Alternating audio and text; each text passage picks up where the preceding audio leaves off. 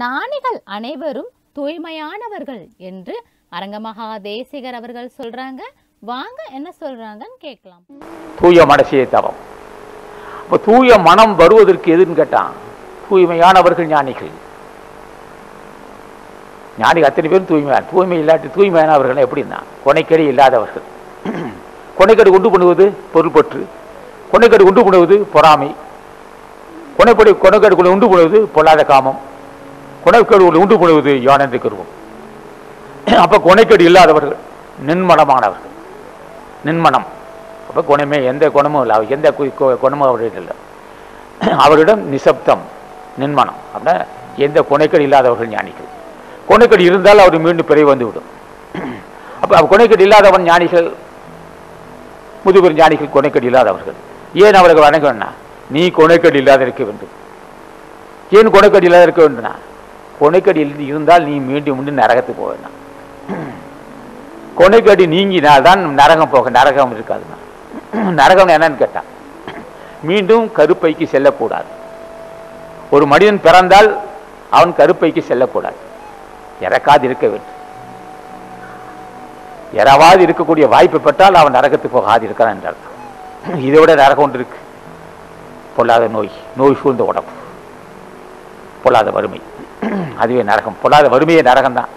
தீராத நோயே நரகம்தான். மன அமைதி இல்லைன்றால் அதே நரகம் தான் மனம் சாந்தம் இருக்க வேண்டும். யாருக்கு சாந்தம் இருக்கும்? தூய மனம் உள்ளவனுக்கு சாந்தம் இருக்கும். தூய மனம் இல்லைன்றால் சாந்தம் இருக்க முடியுமா இங்கே? இருக்க முடியாது.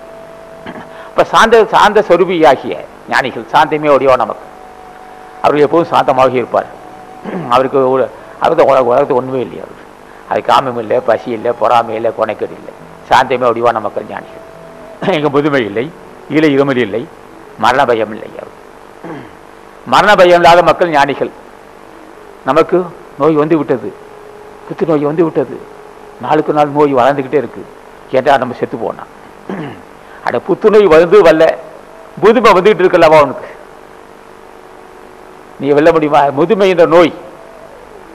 கிளப்பறம் வந்துகிட்டு இருக்கிறா கிளப்பறம் வந்துகிட்டே இருக்கு. நீ இப்போ புத்துநோய் இருக்கட்டும் அந்த அந்த நோய் இந்த நோய் அப்புறம் அதுக்கெல்லாம் மருந்து இருக்கு. புத்துநோய்க்கு மருந்து இருக்கு. இன்னும் தீராத நோய்க்கெல்லாம் மருந்து இருக்கு. மரணத்துக்கு மருந்து உண்டோ? மரணத்துக்கு மருந்து உண்டோ? அறிந்து கொண்டாயா? புத்துநோய்க்கு மருந்து இருக்கு ஐயா. அதுக்கு அதை கண்டுபிடிக்கலாம். புத்துநோய் வெல்லலாம். புத்துநோயே இல்லாமல் செய்யலாம். அதுக்கெல்லாம் மருந்து இருக்கு.